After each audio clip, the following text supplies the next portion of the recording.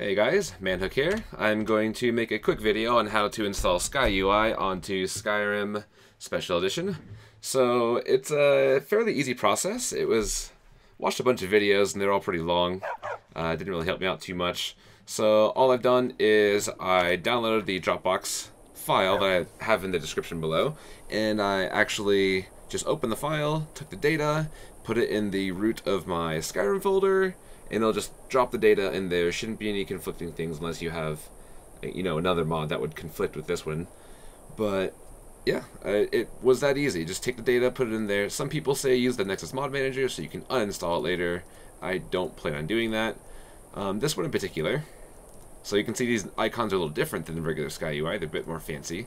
But another thing is to say that some of these items have like X's. I think that might just be the miscellaneous stuff. But I don't really necessarily like those icons, but it's not going to bug me. It's not going to be like, you know, game breaker for me. So there's the inventory. There's the magic menu, which is, again, fancy. I don't have very many spells. I'm an archer. I'm an archer and orc. Oh, little dog friend. And the favorites menu is not Sky UI. And from what I've read and from what I've seen, uh, they also don't have the crafting menu. Miku. That's about it. Cool. Uh, if this helps you out, leave a like.